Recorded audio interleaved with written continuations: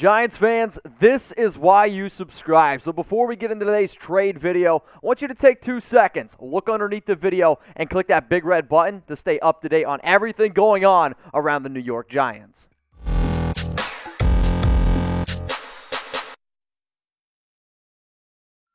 We have some breaking news. The New York Giants have traded BJ Hill for Billy Price. So you see a deal here between the Cincinnati Bengals and the New York Giants. Mitchell Renz from Chat Sports. We're going to be here to break everything down for you, give you the full details, and I'm actually going to tell you who I think won this deal. So BJ Hill, he is on his way to Cincinnati. The biggest reason why this makes some sense for both sides, you are able to help both teams here because Hill, good interior defensive lineman, gives the Bengals a little bit more depth. And then in terms of Billy Price, he's been mentioned in multiple trade talks for the Bengals simply because they're likely to get ready to get back one of their starters. But Hill last season, he had 32 tackles, a sack, two tackles for loss. Really lost out on some playing time since Leonard Williams has, you know, been back since 2019, if you will, and been a one of the best defensive linemen in the entire league. In terms of Billy Price, he is on his way to New York never really worked out. I mean, he was a first round draft pick out of Ohio State, never quite was able to pan out his career. Maybe a new change of scenery, maybe some new coaches thrown in there will have a different uh, outlook overall. But the Giants have been looking for an interior offensive line depth, whether that's at the center position, whether that's at guard. I don't think that Price is going to be a starter, but if some of these other players like Hernandez continue to struggle, you might see something a little bit different. So here's the trade details. The Cincinnati Cincinnati Bengals, they get BJ Hill. The New York Giants, they get Billy Price. Now, if this is maybe the first time you've come across one of our videos here at Chat Sports, not only do we break down the latest news and rumors, trades, and stuff like this, but we're also interactive. So I want every single one of y'all to go down in the comments section and let me know who won this trade. If you believe the Cincinnati Bengals won this deal, I want you to type CIN. If you believe the G Men went ahead and won this deal, I want you to go ahead and type NYG. I'm actually going to go here and say that the Bengals won this deal, and it sure it does help out both sides in some way or another. But when you really tell me, okay, it's BJ Hill for Billy Price straight up, I'm sorry, Hill is the better player to me. Now I get it, you are helping that interior offensive line, but if you want to talk about a price that has not been right, it's been Billy since he has come into the NFL in 2018. A 55.6 overall grade. These are, uh, you know, PFF grades, if you will. A 66 pass grade. A 57.3 run blocking grade. Not great. But what about the last two years? 41.9 overall. 26.1. Imagine coming home to your mom, to your dad, and showing them a grade with a 26.1. My dad would tell me, get the hell out in the backyard and start cutting grass. 54.1 with a run grade, a 29 again in 2020. I mean, I'm sorry.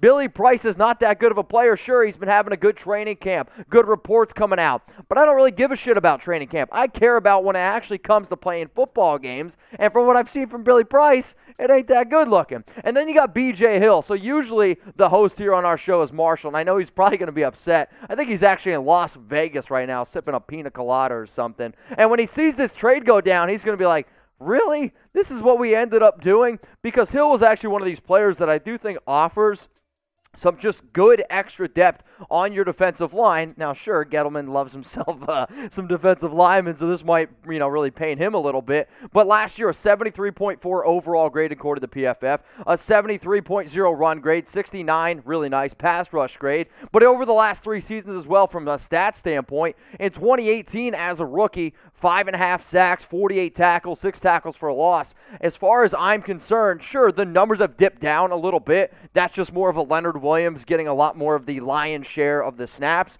But I have seen one player who, when on the field, I've been like, okay, that's actually a halfway decent football player. The other guy, Billy Price, I'm like, well, that's he's best case scenario a depth player. So here again are the trade details. The Bengals they get B.J. Hill.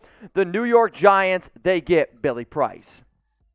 Now, if you guys are diehard Giants fans, what I want you to do is simply subscribe. If you have already subbed, well, shout out to y'all. Take the link that you see below, youtube.com slash New York Giants TV, and start sending it to some of your friends. Hell, I might send this to some of my family members who grew up a big-time Giant fan. So the more subs we get here on this channel, the more people we get interacting in the comments, the more videos we could do. So if you want more videos around your favorite team, then go ahead and subscribe.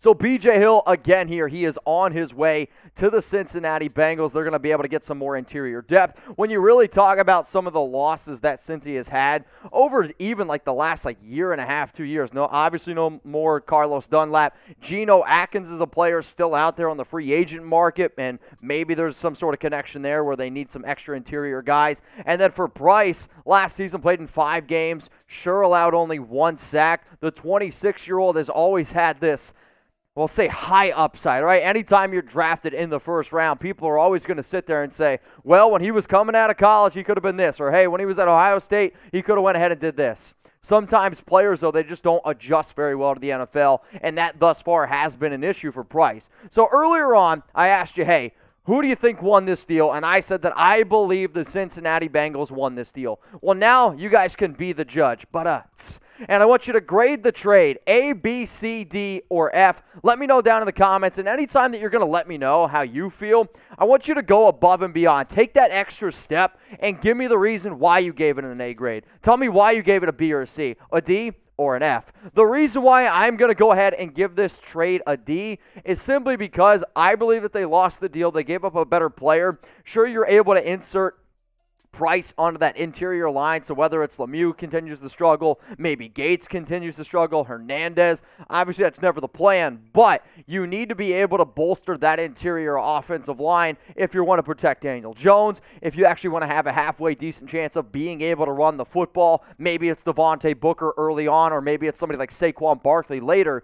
But this offense has a lot of skilled position players around it, but none of that matters if you can't block. And probably the biggest issue issue right now for this New York Giants team in the preseason and training camp is why the hell can't anybody block for some of our skill position players? And then on the defensive line side, you got Leonard Williams, Johnson, Lawrence as well. I actually think one of the biggest reasons why they also decided to move on from BJ Hill is because Shelton Shelton's been out playing him, and if they really want to be able to work with a more four heavy defensive tackle, nose tackle rotation. That could be one of the bigger reasons. So, a Billy Price headed to New York, we're breaking all of that stuff down for you. You see that thing below? It says turn on the notifications. Make sure you go ahead and do that. That way, you guys never miss anything. So, whether it's a certain move that happens or whether there's more news, I don't want you guys to miss it. Another reason why the Bengals, I think, really moved on from Price here is because of Trey Hopkins. He's going to be their starting center. He played in 15 games last season for the Bengals, and he's still recovering from an ACL injury. It sounds like he's going to be ready to go for week one. And uh, with that being said, they move on from Price and they upgrade a little bit on the defensive line. So, what? One more question, and then I'll get out of y'all's hair. What's your one word reaction to this deal? Go down in the comments again and let me know. The New York Giants, they go ahead and get Billy Price. The Cincinnati Bengals, they get BJ Hill. Because it's BJ Hill, I'm just going to go ahead and say my one word reaction is blows because I think that Billy Price kind of blows. When you give up BJ Hill, hey, these kind of things, they just work out themselves. If you made it this far in the video and you disagree with anything that I said today, you can always find me on IG or Twitter at Mitchell Renz 365